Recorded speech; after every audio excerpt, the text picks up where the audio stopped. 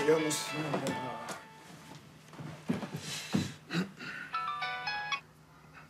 Buyur hacı amca. Ha, ha araba mı? Araba. Arabayı ben şey... arabayı getireceğim tabii. Ee, evet, evet şimdi...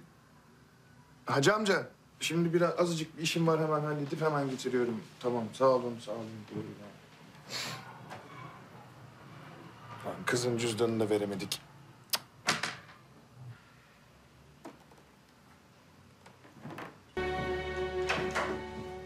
Oo albayım, günaydın. Günaydın Poyraz. Dün gece geç geldin. Hayrola neredeydin? Hiç işteydim ya. Buyur kahvaltı edelim. Ümran Hanım pişi yapmış. İsa da burada. Ya ben şimdi biraz işim var. Müsaade ederseniz bir gideyim onları halledeyim. Olmadı akşama doğru uğrarım size. Ya gel işte. Hem şu İsa'nın ödevine de yardım edersin. Ne mi ödev? Ya Bitmedi ya. Tamam albayım. Ne yapalım madem davet ettiniz? Emir telakki ediyorum. hadi buyur bakalım. Hadi bakalım. Buyur. Günaydınlar olsun sevgili komşular. Hoş geldiniz Poyraz Bey. Siz hemen oturun ben bir tabak daha getireyim. Çok sağ olun Ümran Hanım. Zahmet oldu size. Ne demek?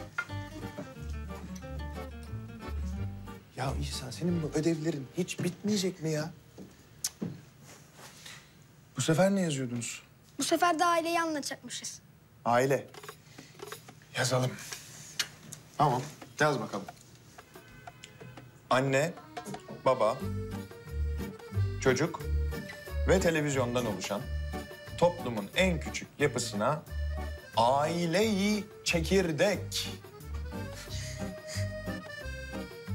veya çekirdek aile denir.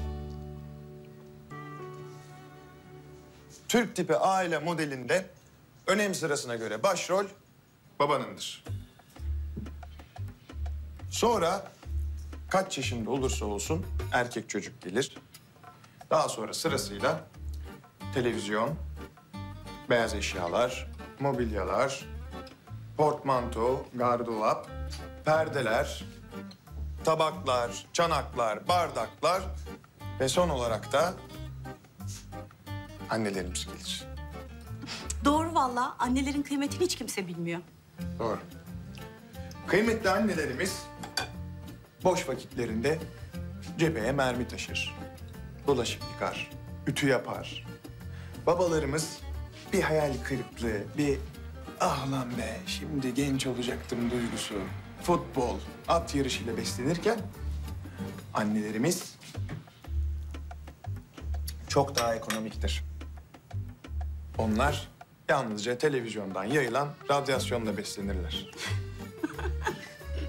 Sen bizim aile yapımızla resmen dalga geçiyorsun Poyraz. Olmuyor ki. Kim dalga geçiyor albayım?